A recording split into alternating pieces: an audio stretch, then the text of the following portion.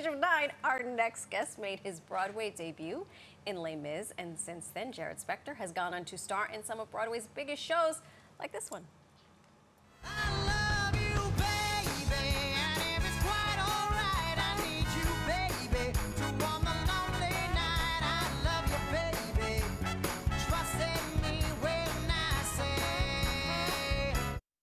We love him, baby. Uh, Jarrod played Frankie Valli in Jersey Boys. He was nominated for a Tony for his role as Barry Mann in Beautiful, the Carole King musical. Mm -hmm. And he took on the role of Sonny Bono in The Cher Show. And now, Spector is back on Broadway where he belongs with a role where he'll do anything to remind you of his love.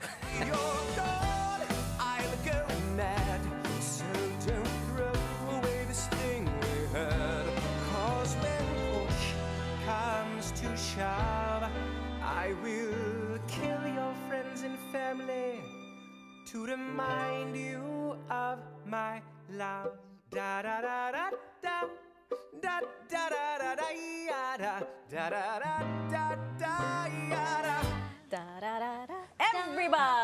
Everybody! Jarrod Spector made his Hamilton debut last week as the fan favorite oh, King George III, and he's joining us this morning on the sofa. It is a real treat to have yes. you with oh, thank you. It's a real treat.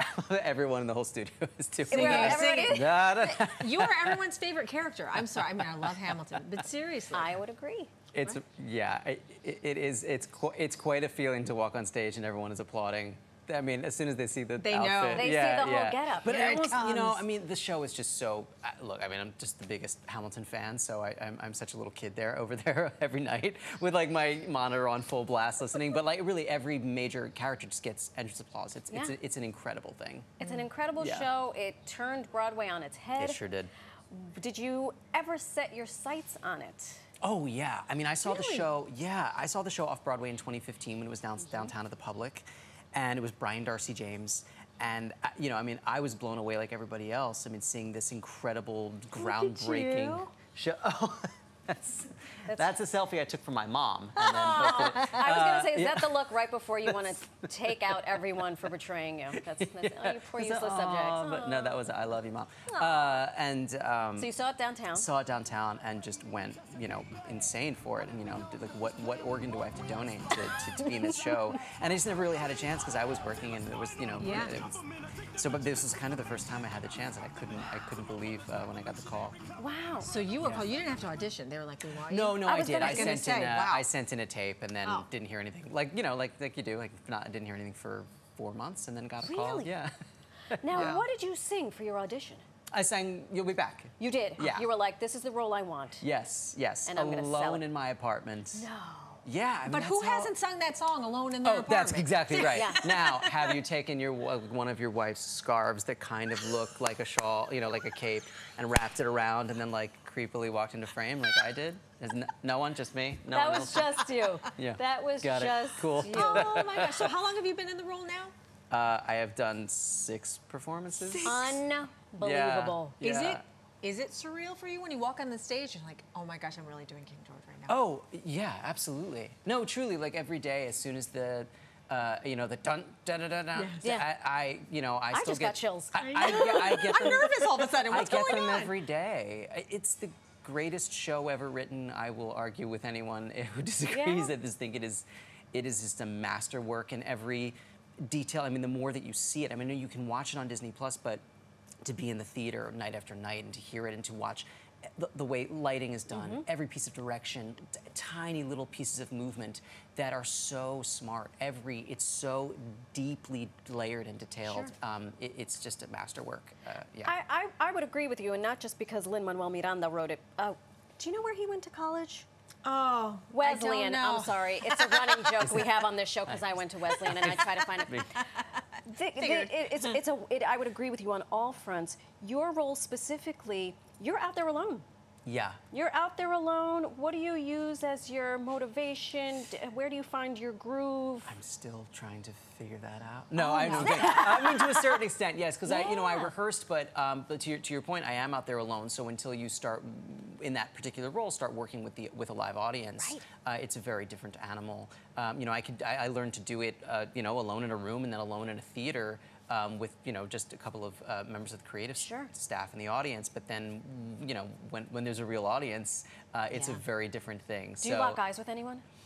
It's it, uh, the lighting makes it kind Oh, of tough, true, but there are true. Moments like, like, right when there, I, yeah. once I charge all the way downstage and can sort of look down. Yeah, there are some people. Uh, there are some people uh, you know whose, whose eyes I can catch, but I don't Yeah. really like focus Yeah. on any one person. It's more like a, a, Yeah. a spot in the dark. I mean, I know you're not obviously not new to Broadway. You're Tony nominated. I mean, come on, it's not like you're. All those shows. Yeah, I mean, gosh, you're, you're huge on Broadway already. But was there still pressure though because of the role, and and those who had done the role before you? Yeah. Did you feel that pressure at first, or Yeah. you kind of like blocked that out and like this is me doing this role? I think it's a little of both, uh, honestly. But yes, I mean, you know, stepping into a, sh- a, a role that Jonathan Groff did, and Yeah. Brian Darcy James, and my buddy Andrew Rannells, and like these these like sort of Broadway luminaries have done Yes. this this role, and the show is sacred. I mean, the last thing you want to do, you do those three guys exactly. You don't want to break this show.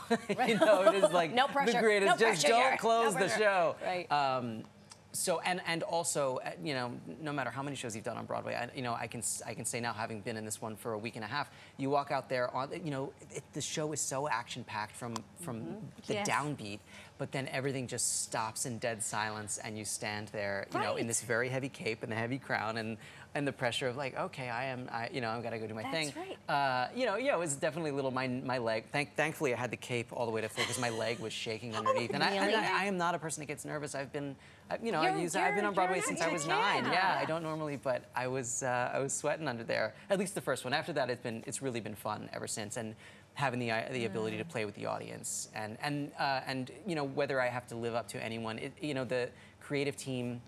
I mean, just worked with director Tommy Kail yesterday. I mean, they they really encourage you to take your, you know, to find your version of, Yeah. of the king. So it's while there's pressure to live up to the expectation of how wonderful the role is and how amazing the show is, I still get to do my version, which is Right. great. And that's Yeah. part of the creative process, I would mm. think. Absolutely. You've played real people Yes. in a lot of these big roles. Yeah. How does that affect how you approach the role? Do you go in and take a deep dive into who those people really are, or are you Oh, yeah. just like, you know what, I'm going to interpret who they were? Um, no, but the, the, the former. Um, Yeah. Except with King, I mean, I read the Hamil- I read Ron Chernows' book, um, so there, there's some King George. I haven't read like a King George biography. I mean, and to be fair, I mean, this is a uh, an interpreted version right, of that's right. King George, and it's not like you know, unless you're coming from a séance, you don't know. You don't what he exactly, you've not heard his voice. like. That's right. That's Um, right. uh, so Really? it's different, you know, playing like Sonny Bono or Frankie Valli. Everyone Yeah. has very specific memories and expectations of what that person looked like. If you know, you made out to Sherry when you were 13, you know, whatever it was, or if you watched, you know, the Sonny and uh, Sonny Cher Comedy Hour, Yeah. you, you really think you know, not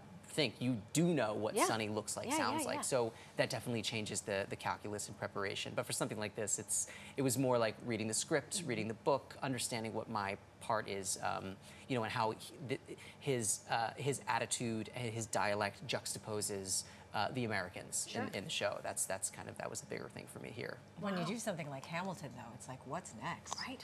Right. Oh, I, this. I mean, I'll be here for a while. I have no plans. That might.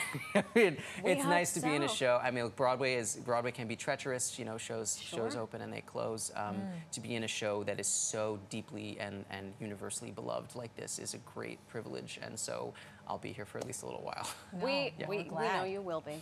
yeah. and thanks for making this a stop along the way. Oh We gosh, thank appreciate you for having me. What a pleasure. Oh Are you from my Philly? gosh. I am. Are you an Eagles fan? Oh my God, yeah. Oh. No way. Are you a Why- Phillies fan? Yeah.